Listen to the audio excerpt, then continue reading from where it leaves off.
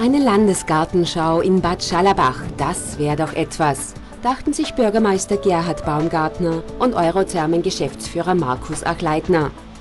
Nach Bad Hall und Vöcklerbruck bewirbt sich der führende Gesundheitsort im Herzen Oberösterreichs zur Durchführung der Botanica im 20 Hektar großen Kurpark des Eurothermen-Ressorts. Äh, es passt einfach das Thema Garten, Park, äh, aber auch Natur, Wellness, Gesundheit zu Bad Schallerbach. Und die Grundlage für die äh, Bewerbung war natürlich der Bad Schallerbacher Kurpark mit all seinen Qualitäten, die er jetzt schon hat. Und mit der Landesgartenschau kann man zusätzliche Attraktionen einbauen. Für Familien, für Wanderer, für Spaziergänger, für die, die sich erholen wollen, bis zu einem Teich, wo man dann sitzen kann. Und äh, die Chance, das alles umsetzen können, das war das Motiv für die Durchführung einer Landesgartenschau. Als Thema für die Botanica 2009 haben sich die Verantwortlichen Garten, Gesundheit, Wasser einfallen lassen. Ein Motto, das für die Veranstaltungsgemeinde naturgemäß ein Heimspiel bedeutet. Genau so ist es. Das Wasser spielt für Bad Schallerbach wirklich eine wichtige Rolle und das schon seit 1918. Und bei der Gartenschau wollen wir genau diese Kombination herstellen. Das heißt, wir haben unsere Planer beim Briefing beauftragt, dass wir vor allem diesen traumhaften Landschaftspark kombinieren mit dem Wasser. Es wird eine Wechselflurachse geben, äh, wo wir drei verschiedene Wasserattraktionen nacheinander erlebbar machen. Und das mündet in dem Quellgarten, wie könnte es anders sein, mit dem Schwefelthermalwasser in Bad Schallerbach, das eigentlich den Grundstein für die touristische äh, Arbeit hier in Bad Schallerbach legt. Den Planern wird dabei einiges abverlangt. Rund 3500 Stunden werden sie mit der Gestaltung der Botanica bis Ende 2008 beschäftigt sein. Die Highlights auf der Landesgartenschau werden sicherlich einmal diese große Wechselflurachse sein, die gleich zu Beginn äh, inszeniert wird. Das ist also mit Wasser und Blüten. Also dieses Wechselspiel äh, wird da ein erster großer Höhepunkt sein äh, und geht dann weiter Richtung Westen, wo wir dann die große Geländeskulptur haben äh, mit dem weiteren Blütenhöhepunkt, der dann im Seerosenteich mündet. Dieses Konzept überzeugte das Land Oberösterreich als ersten Finanzier. Wir freuen uns schon, wenn in zwei Jahren Bad Scharlabach ähm, das blühende Oberösterreich repräsentiert und der Botschafter unseres Landes weit über die Grenzen hinaus sein wird.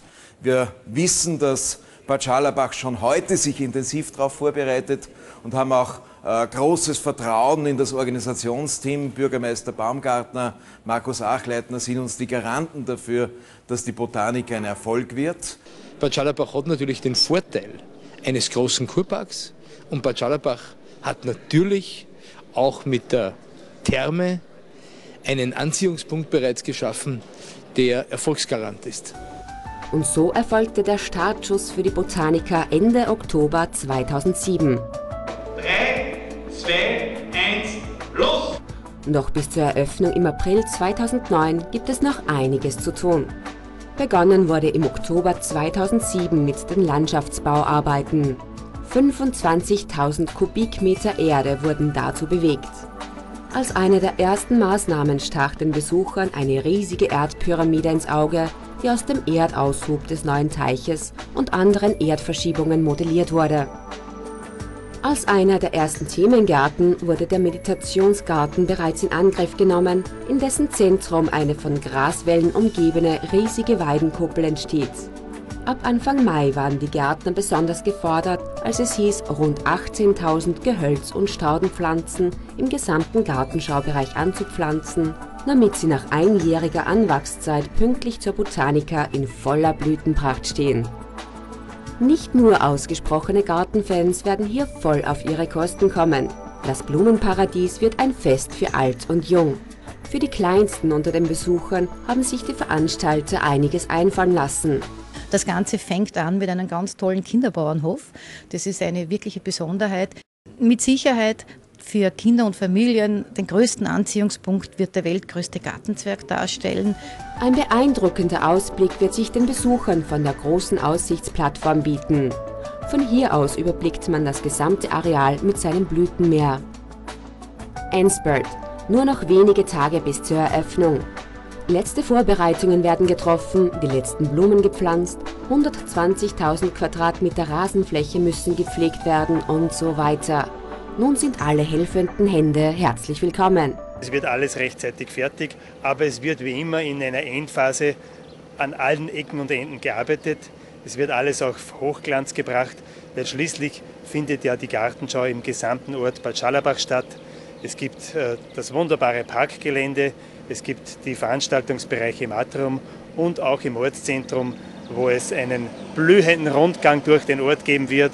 Alles geht sich aus, es wird auch auf Hochdruck gearbeitet, wie man sieht im Hintergrund, aber wir sind guter Dinge, dass es klappt. Hat noch immer alles geklappt, das Wetter spielt auch mit.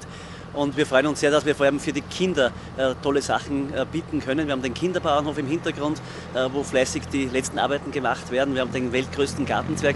Es wird wirklich eine Gartenschau, wo die Kinder zum Papa sagen, bitte fahren wir auf die Gartenschau. Und das ist etwas Tolles.